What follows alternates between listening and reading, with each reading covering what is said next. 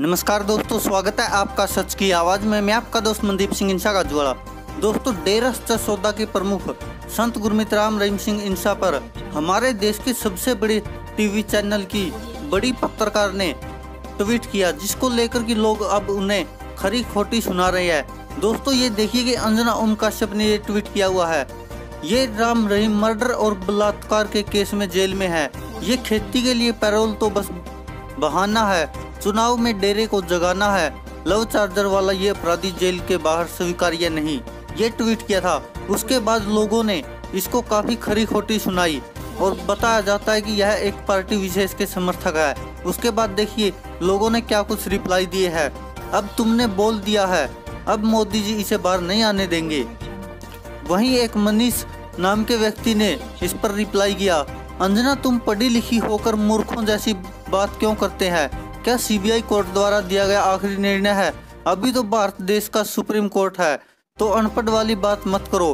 Payroll हक है। दो साल बाद सबको जितने काम देश हित में संत गुरमित राम रहीम सिंह जी ने किए हैं, कोई करके तो दिखाए। एक सौ चौतीस कार्य सच का साथ देना हर किसी के बस की बात नहीं है। सब माया रानी का चक्कर है। पैसे खिलाकर जो मर्ज़ी बुला लो इनसे। नेहा गर्ग। निम्मी चोपड़ा ने रिप्लाई किया कि, भाई पढ़े लिखे हो न दिमाग होने या समझदार होने की गारंटी नहीं है। पढ़ाई तो कुत्ते भी कर लेते हैं, जानवर भी सब सीख लेते हैं, जो भी सिखाओ, इनसे यही उम्मीद है सारे देश को। आगे एक ने और रिप्लाई किया है, उल्लू बोलता है, सूरज नहीं होता, पर उसके पास आँखें नहीं होती।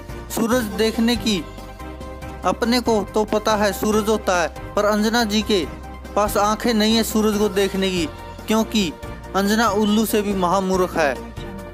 और यहाँ पर देखिए कि एक ने तो मीडिया के मुँह में जूता थमवा दिया है गवर्नमेंट वाला। तो वहीं पर एक ने और रिप्लाई किया कि भाजपा वाले आपसे नाराज़ हो जाएँगे। एक ने रिप्लाई किया कि, मोहतरमा, आपके स्वीकार्य या अस्वीकार्य होने से काम चलेगा क्या? आप तो टीवी शो में डिबेट कराइए और अपना टीआरपी सीधा कीजिए। और जहाँ कहीं मुसलमानों के साथ अन्याय हो रहा है, उस पर बड़े बड़े नेताओं को बुलाकर सेकुलर शब्दों की विवेचना करवाइए। तभी तो टीआरपी बनेगा। हिंदुओं के केस में कोई टीआरपी नहीं बनेगा। वहीं एक ने और रिप्लाई किया तो आपने युग पुरुष को बोला ना? या इसमें भी कांग्रेस और राहुल गांधी का लिंक ढूंढेगी आप लोग? राजीव ने रिप्लाई किया, अंजना ओम कश्यप, तेरे हर ट्वीट के दाम अलग से तय होते हैं। या डबल क्रॉस करके मॉर्निंग वॉक से महरूम होना है। वहीं रोहित आलोचक ने लिखा, इस महीने का खर्चा नहीं मिला है क्या? लगता है अंजना ओम कश्यप जी आपको। गणेश पवार ने ट्वीट लिखा कि अपराधी तो पार्लियामेंट में है, भोपाल में, जहाँ पर की साध्वी प्रज्ञा ठाकुर वहाँ से सांसद बनी है।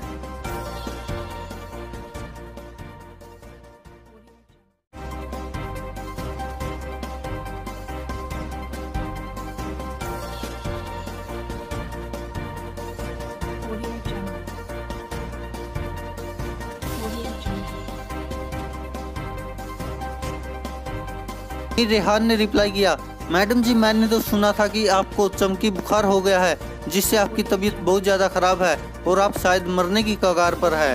प्रियंका ने और रिप्लाई किया, हे राम, ये अंजना ओम मोदी ही है ना? इसको क्या हो गया है? आज तेवर अलग ही है। वहीं मुर्शिद रजा ने रिप्लाई किया, आप एक्टिंग शुरू कर दीजिए, आप सफल होंगी। निशिंत भारद्वाज ने लिखा, छोड़िए ऐसे ट्वीट मत करें।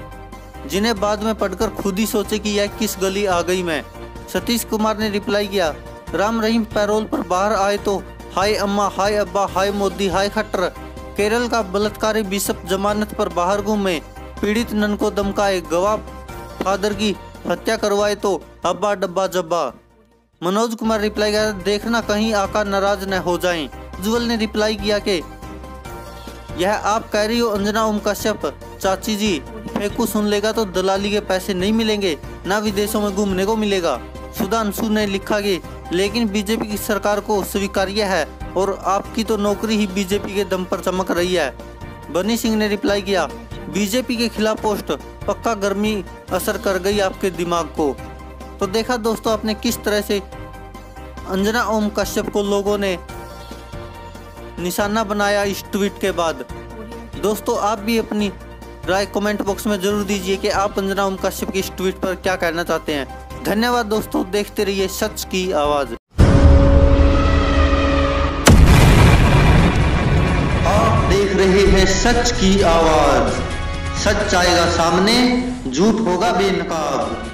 सच की आवाज़ को सब्सक्राइब करें, साथ में इस बेल आइकन पर भी क्लिक करें।